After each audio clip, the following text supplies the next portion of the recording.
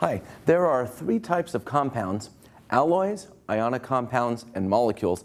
And with this little video module, we'll talk about alloys. Now, looking at the periodic table of the elements, the periodic table of the elements is broken down so that the left side of that red staircase is metals. The top right, nonmetals. And you could really get detailed and talk about that there are a few of the elements on the staircase that are metalloids. We're just going to just strictly break it up into metals and nonmetals. Now, alloys are composed of exclusively metals. So we're talking about the left of the uh, staircase here. Let's make a couple of notes about alloys.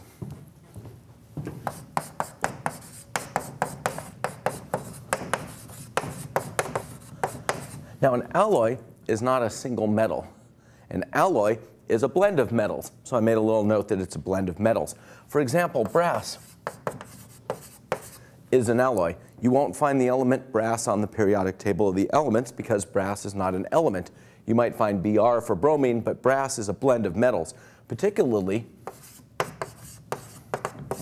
brass is made out of quite a bit of copper, which is what gives it its copper-looking color, and then a little bit of zinc. The reason we make brass alloys is because maybe we're not fond of exactly what copper has to offer. For example, oh, copper will tend to rust or tarnish little kind of like tarnish marks on a penny. And zinc will help you out there. And also, maybe it's not the right flavor, it's not the right color that people want. Now we make brass fixtures. This spigot is made out of brass and doesn't look like brass. You're thinking it looks shiny like it's chrome. Well, what they do is they make it out of brass because they can mold brass and it, lasts a long time.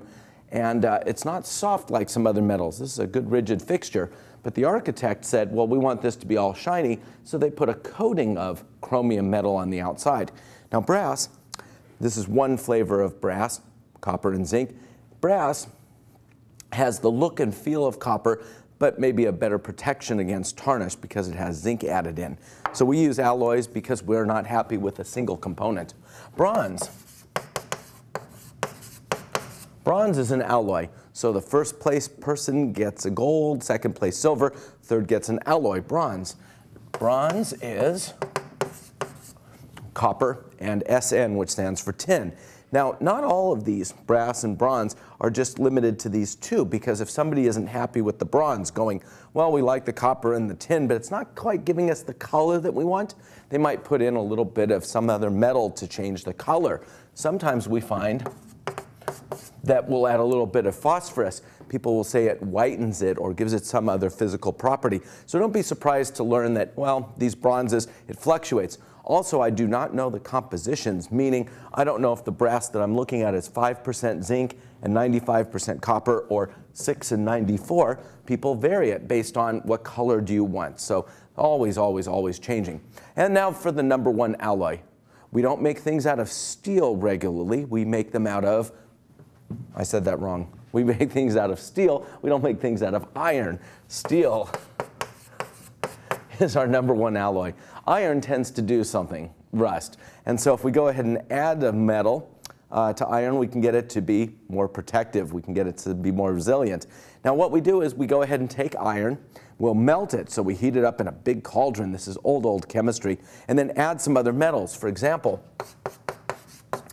to a lot of iron, we might add some chromium. And the chromium has this property of making the steel so that it isn't pitted. Uh, steel is nasty to run your fingernails over. It's always pitted, and you go, oh, it's, it's dirty and it's pitted, maybe even rusty. Chromium helps solve that, so we might call it stainless or surgical steel if we add chromium. And you can add other metals. Some people will say, well, I want my metal to be titanium because it's going to make my alloy steel uh, lighter stronger, things like this. So we'll use titanium. People call it a titanium alloy. Also, if you have iron, maybe a little bit of chromium, you can add something, and it is an exception to the metal rule because carbon is not a metal, it's a non-metal, but we'll add some carbon graphite, some black powder. It's pure carbon.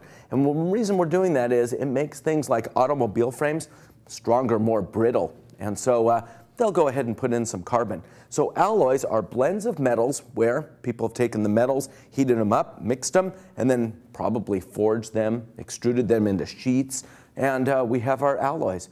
Alloys are really not a common topic for us in Chem 121. It's like we mention them a little bit, but we're not doing a lot with them. Not a lot of chemistry involved. Mold them,